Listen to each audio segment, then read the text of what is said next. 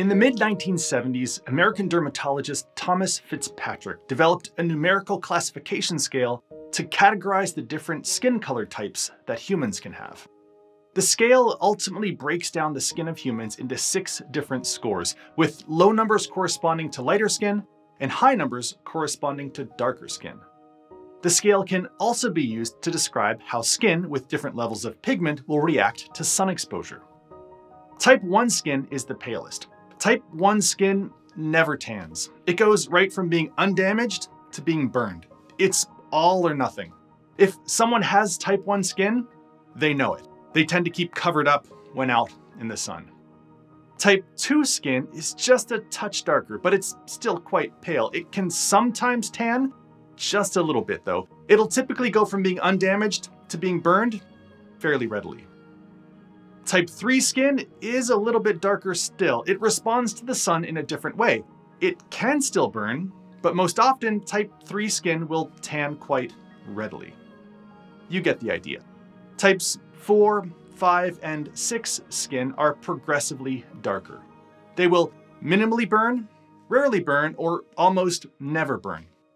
Types 4 and 5 will both tan quite readily, whereas type 6 skin technically can sometimes tan, though it might not be noticeable because the skin is already quite dark. Now, a sunburn is an immune response. When skin cells get exposed to the sun, the skin cell DNA can be subjected to harmful UV radiation. That radiation causes cell damage, DNA damage, and mutations. The redness and pain of that burn that's due to the inflammatory reaction that's stimulated from the sun. It's the body's immune system responding to cell damage. A massive amount of apoptosis or cell self-destruction is initiated to eliminate cells that are critically damaged. And the peeling skin after a sunburn? That's sheets of skin cells that needed to be destroyed after being severely damaged by the UV radiation. All right, fair enough. So what about a suntan? What's going on with the skin cells that causes the skin to darken following sun exposure?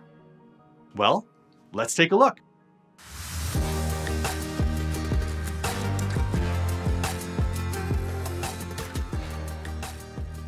Today we're talking about sun tanning. Tanning occurs when skin cells are stimulated to produce an increased amount of the dark pigment eumelanin. Eumelanin is the key molecule that's responsible for the different skin colors that humans have. And yeah, when skin cells are exposed to UV solar radiation, their eumelanin production can often be kicked into overdrive, depending on the skin type. To produce eumelanin, it all starts with the amino acid molecule tyrosine. Special skin cells called melanocytes can convert tyrosine into eumelanin using specialized organelles called melanosomes. Now, there are only a few key enzymes that are directly involved in this process. Tyrosinase is an example of such an enzyme. It interacts with the tyrosine and helps to convert it ultimately into eumelanin. Now, categorically speaking, ramping up the amount of eumelanin in the skin, like what we see with a tanning response, can only happen in one of two ways. First, the effectiveness of key enzymes like tyrosinase can be improved as a response to sun exposure. If tyrosinase is more effective, then more pigment would be produced, all else being equal. Second, there are certain enzymes, we'll call them accessory enzymes, that are needed for the manufacturing of key enzymes like tyrosinase. If those accessory enzymes can be stimulated by UV radiation from the sun, then they can impact the amount of tyrosinase that's made. In this particular scenario, it's not about making tyrosinase more effective, instead it's simply about making more of it. More tyrosinase would likely mean more eumelanin production. So let's take a look at those two different avenues.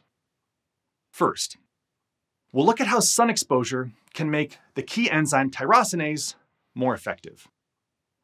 As UV radiation bombards a skin cell, it damages that skin cell's membrane. This causes a molecule called diacylglycerol, or DAG, to be released from the membrane of whatever skin cells are affected. DAG stimulates the production of an enzyme called protein kinase. In this case, it's PKC.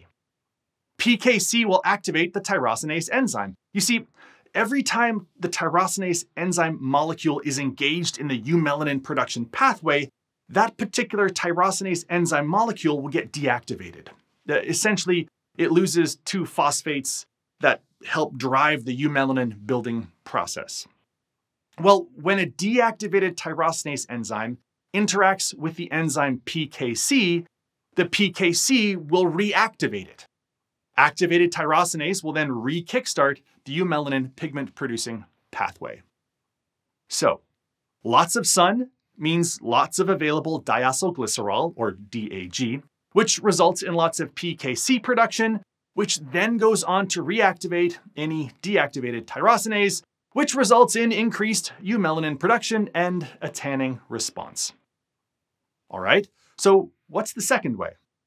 Well, to make more of the tyrosinase enzyme, there would have to be an increase in the rate at which the tyrosinase gene is transcribed, which is the first step in enzyme production. The DNA is transcribed into a molecule called mRNA, and that mRNA is then translated into a protein. And in this case, we're talking about the tyrosinase enzyme, which is a protein. So how does sun exposure make that happen? As UV radiation damages cell structures and cellular molecules, it stimulates the production of an enzyme called pro-opiomelanocortin, or POMC. POMC can get broken apart into different hormones. One of those hormones activates a transmembrane protein called MC1R, or the melanocortin 1 receptor. When MC1R is activated, it stimulates the production of a molecule called cyclic adenosine monophosphate, or CAMP, which, when abundant, causes an increase in the transcription of the tyrosinase gene. This results in a higher concentration of the tyrosinase enzyme, which leads to an increased eumelanin production level and a tanning response. Now, what about people with type 1 skin that just doesn't tan? I mean, this isn't a case where the skin just needs the right amount of sunscreen. Some skin actually can't tan in a biological sense. The skin burns, but never tans. So what's going on there? In many instances of type 1 skin, the MC1R gene is faulty, if you will. It produces a non-functional MC1R protein. If the MC1R protein isn't functioning, then not only will no eumelanin be produced as a tanning response, but essentially no eumelanin can be produced at all. So pale skin, that's biologically unable to tan. Now what about type 6 skin on the other end of the spectrum? This is skin where the eumelanin production is already ramped up. So since a near maximal amount of pigment is already being produced, Extra sun exposure typically doesn't result in extra eumelanin production in this case. Not to mention the fact that a high concentration of eumelanin can protect skin cells from cellular damage as a result of UV exposure. And that's something that otherwise would typically stimulate a tanning response. So tanning, the color of skin, it's all about eumelanin, how much gets produced, and whether the sun can stimulate any extra production. For a more in-depth view of the pigment producing pathway, be sure to check out the cell biology video in this series. In the meantime, regardless of the type of skin that you have, it's probably not a bad idea to make sure that you take appropriate precautionary measures to protect your cells from harmful UV radiation that shines down on us from above. Thanks for tuning in. I'll see you next time.